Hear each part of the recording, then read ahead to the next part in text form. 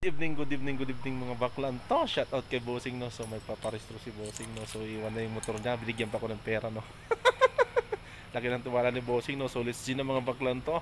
At titirahin natin to bukas. So shout out talaga kay Bossing at sala salamat no. So hatid na natin si Bossing doon sa gate. Magtataksi na daw siya uwi no. So let's see mga baklan to.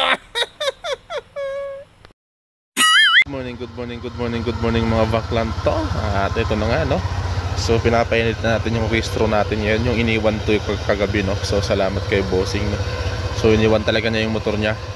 At ito nga at ibutan na nga natin si smoke test. So pinainit lang natin mga baklan to. Ayan.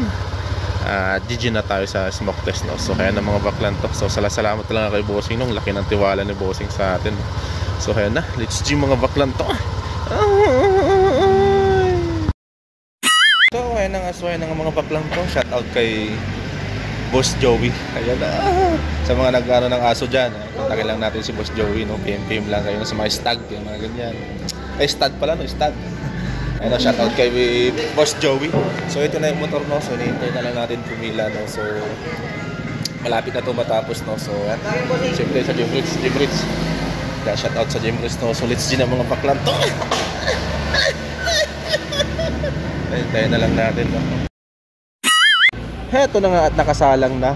Nakasalang na yung registro natin. So sala salamat talaga kay Bossing. No? So ayan, hintayin na lang natin ito matapos. So ayan na, so ayan na, so ayan na.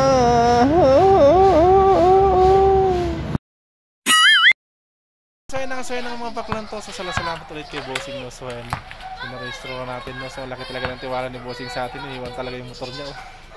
So yan mga baklan to. So salamat talaga Bossing at goodbye Philippines na. And see you all mga baklan.